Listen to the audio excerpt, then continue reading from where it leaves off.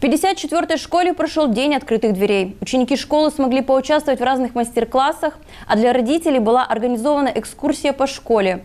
Что еще ожидало гостей в этот день, расскажет Светлана Светличная. День открытых дверей – отличная возможность для родителей поближе познакомиться со школой, в которой учатся их дети. А для ребят – это день, когда они могут весело и с пользой провести время. Так для родителей была организована экскурсия по 54-й школе. Информационная открытость школы – это одна из задач нашего педагогического коллектива. Мы стараемся, чтобы наши родители, наши социальные партнеры, ну и, конечно же, наши обучающие, обучающиеся знали все про то, какими возможностями обладает школа, для того, чтобы этими возможностями они могли воспользоваться. Мы побывали сегодня на экскурсии по школе. Очень интересно. Оснащенные кабинеты специализированные, физика, химия, биология. Понравилась библиотека, интересные стенды, таких я тоже не видела, стеллажи, которые передвигаются. День мы провели с пользой. Я рада, что согласилась прийти посмотреть, где мой ребенок находится холле расположилась фотовыставка с интересным названием «Ожившая фотография», в которой с большим интересом поучаствовали школьники.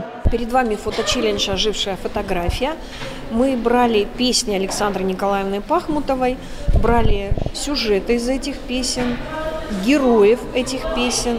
Ребята делали фотографии чтобы рассказать об этих песнях. И в четверг прошла презентация этой выставки, то есть представители классов выступали и рассказывали, э, чему была посвящена песня или кому была посвящена песня. В этот день для ребят проводили мастер-классы. Они изготавливали сувениры для предстоящей новогодней ярмарки, а некоторые учащиеся сделали открытки для своих любимых мам. Мамочка моя родная, поздравляю я тебя. Пусть глаза твои сияют, как на солнышке роса. Пусть в сердечке будет радость, на душе всегда весна.